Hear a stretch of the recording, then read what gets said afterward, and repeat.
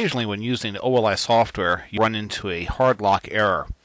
The example here is of hard lock error 19, which means that you cannot acquire the port. There are a variety of reasons for this, and one of the things the user needs to do when getting such an error message is to copy the information in this dialog box displayed here and send it to OLI. Please remember that there is information stored below the window, and as I scroll down, you get to see more information. All of this information needs to be sent to OLI. But before that happens, the user may want to try to repair the hard lock driver themselves. To do so, simply click this button that says Repair Hard Lock Driver. This will launch a batch utility which will reinstall the hard lock drivers.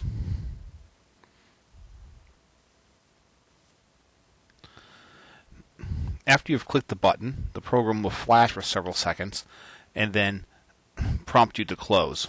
If it doesn't close, close the dialog yourself.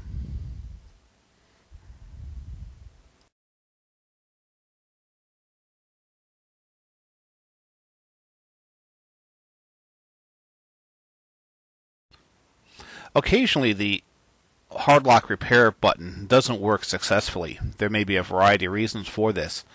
If that case happens, what you need to do is to open up Windows Explorer, as I have here, and then switch to the folder Program Files, Common Files, OLI Systems, Hard Lock. This directory is installed when you install the hard lock drivers with OLI, and we can manually repair the uh, hard lock drivers. To do so, locate the file olihardlockrepair.bat. If your file extensions are not displayed, you can look over here for the MS-DOS batch file file type. Simply double-click the file, and you will see a bunch of DOS windows appear, and this is information uh, telling you what's being repaired. Please report back any error messages to OLI during this step. As the uh, repair continues, you may notice windows appear down in your taskbar indicating that various drivers have been installed. This is further indication that the hard lock repair is undergoing normal operation. If the repair is successful, the DOS command window will close. Your hard lock drivers have now been properly installed. You may now restart the OLI software.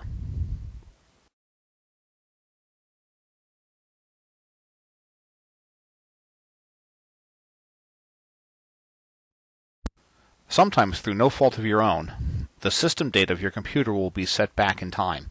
If the date has been turned back more than 24 hours and the hard lock key was attached to your computer, you will invalidate the hardware key. This damages the key permanently and needs to be reset. Okay. The OLI software will not work until the key is reset.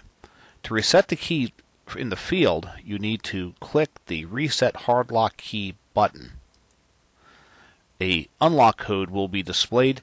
This code must be sent to OLI either by phone or by email.